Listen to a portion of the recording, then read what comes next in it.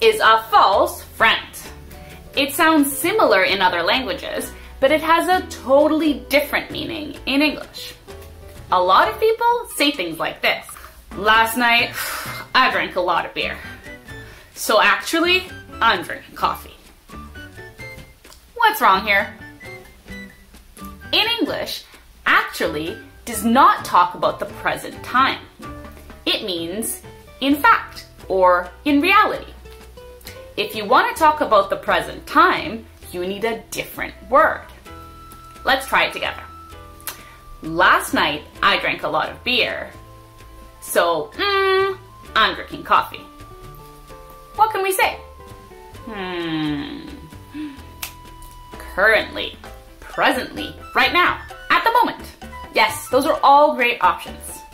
Keep practicing and see you next time.